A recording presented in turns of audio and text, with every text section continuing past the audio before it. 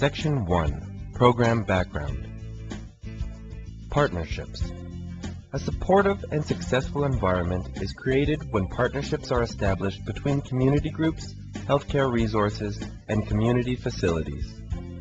Healthcare practitioners and persons with stroke living in northwestern Ontario identified the need for an ongoing stroke-specific community-based exercise program.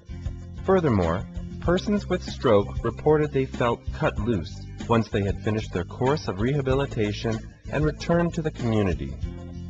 As a result, physiotherapists associated with the Northwestern Ontario Regional Stroke Network at Thunder Bay Regional Health Sciences Centre have undertaken the design of a stroke-specific community-based exercise program. This project has been undertaken in partnership with City of Thunder Bay Recreation and Culture Division, the Thunder Bay chapter of Stroke Recovery Canada, and St. Joseph's Care Group, the regional rehabilitation hospital in northwestern Ontario. Grants were received from the Ontario Ministry of Health Promotion Communities in Action Fund, the Ontario Stroke System, and the Northwest Local Health Integration Network to develop, research, and produce this training program. Vision and mission statements. Along with community partnerships, the vision and mission statements of the Ontario Stroke System and this initiative have helped to define the role of a fitness instructor training program. Vision, fewer strokes, better outcomes. Mission, to continuously improve stroke prevention, care, recovery, and community reintegration. To deliver a training program which will provide support to people living with stroke through the provision of an appropriate community exercise class.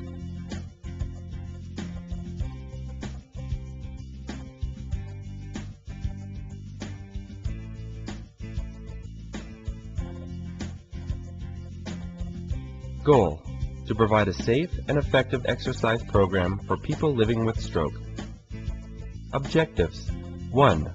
To improve or maintain mobility. 2. Decrease risk of falls by improving balance and strength. 3. Provide opportunities for social support. 4. Provide opportunities for improving quality of life. 5. Promote activity and improve general fitness level.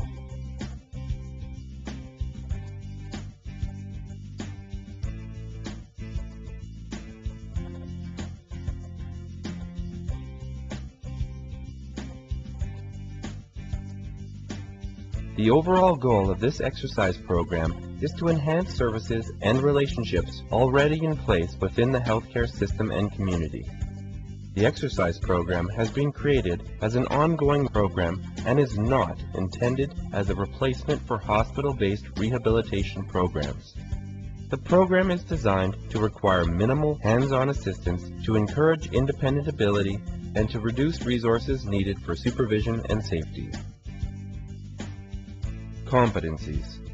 In order to meet these objectives, a training program has been created for fitness instructors which focuses on the knowledge, skills, and attitudes needed to deliver a safe and effective exercise program for people living with stroke. The use of competencies helps to focus not only on what you know, but also on what you know how to do. Competency background. Competencies are the knowledge, skills, and attitudes needed to effectively perform a role or function.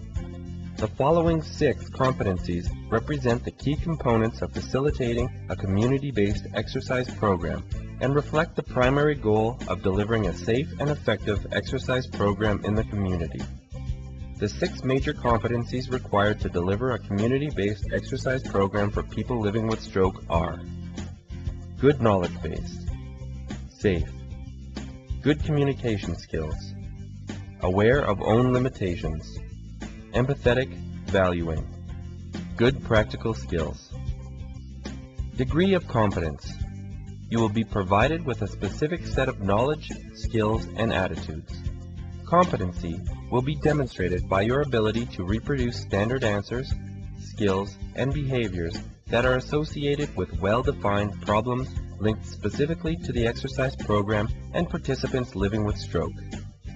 Knowledge is focused on the delivery of the exercise program gaining a basic level of understanding of stroke, and applying this knowledge specifically to participants living with stroke. Mastery of skills is determined based on evidence that fundamental elements of the standardized program are present and respected. The competencies required will assure the safe and effective delivery of the community-based exercise program for people living with stroke.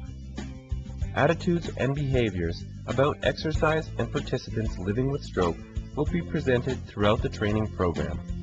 These qualities will be assessed throughout the program as well as through ongoing interaction with participants, facility, and healthcare links. How to evaluate competencies. Competencies are evaluated through a self-evaluation component, the submission of two forms, and through the evaluation of your ability to deliver an exercise class. Self-evaluation. Thought-provoking questions and self-tests are used throughout the training program to ensure a basic level of understanding. A competency checklist will be used at the start of the training program and again once you have completed all of the sections of the program to help you identify which components of the program you understand and which ones require more study and practice. Submission of forms. You will be required to submit a copy of your facility plan to ensure that details of program management and facility organization have been attended to. This will help you to ensure the safety of participants within your facility. A class plan must also be submitted to demonstrate your ability to organize the flow and details of a class. The class plan will provide an outline of the observation and evaluation of your trial exercise class. Exercise class trial. The evaluation of your ability to deliver the exercise program will be assessed through the observation of a trial exercise class. Your ability to deliver the class in a fun, safe, and effective manner will be evaluated using the class assessment checklist. This checklist has a major focus on safety and effective delivery of the exercises. Once you have completed the trial exercise class, there will be opportunity for discussion to review and help determine which competencies require ongoing education or support. Throughout this training program, you will be given the opportunity to learn at your own pace and repeat knowledge sections and practical applications as needed. You have now completed Section 1 on Program Background.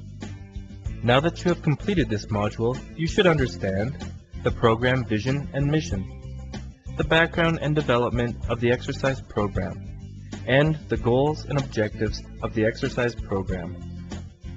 Throughout Section 1, you should have completed two thought-provoking questions. If you have not completed these questions, please do so now. There are also two self-test questions to complete before moving on to the next section.